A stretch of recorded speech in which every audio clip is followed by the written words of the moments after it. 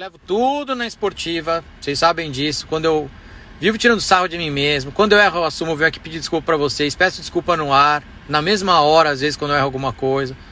Então eu não vou nem me defender desse troço. Estou falando que eu fico desanimado, que é tão absurdo, mas é tão, tão baixo isso, é tão ruim.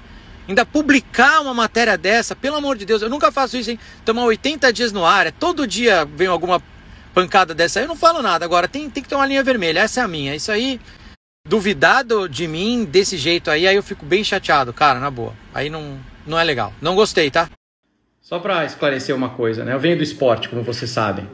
Fã, vê o que quer. Essa é uma das diversões do negócio. Às vezes você mostra um lance no esporte lá que é claramente pênalti e o fã daquele time acha que não foi. E tudo bem, vida que você. Mas aí o que, que você faz, jornalista profissional? Você leva o comentarista no estúdio, você mostra o lance em câmera lenta, e você mostra o fato. Falar foi pênalti ou não foi pênalti. É para isso que serve o jornalismo profissional. Para pegar um fato e falar dele, certo? Então, o que, que, que, que me incomoda? É, fãs veem manipulação.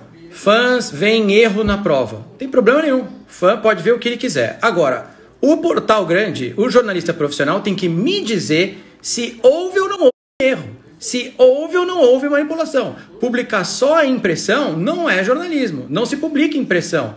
Não se publica parece que. Parece que não precisa de jornalismo, não precisa de mais nada.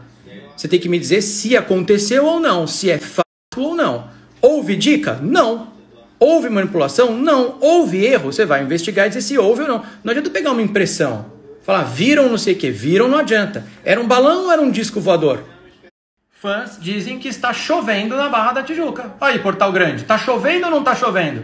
Não, fãs veem chuva ali na Barra da Tijuca. Mas está chovendo ou não está chovendo? Quem é que vai me dizer se está chovendo ou se não está chovendo? Então é isso que me deixa chateado. É publicar a pauta, publicar a impressão, publicar a sensação e não o fato. Aí me pega. Foi assim que surgiu um monte de coisa errada que tem no mundo agora, em teoria da conspiração. Foi assim que surgiu. Eu tô falando de coisa mais leve aqui, falando esporte, de reality show, mas em coisas mais graves é o mesmo comportamento também. Foi assim que a gente pô, tem que explicar que a Terra é redonda? Não tem que explicar, mas tem gente que tem a impressão que ela é quadrada, entendeu? E aí você faz o quê? Você publica isso aí numa boa?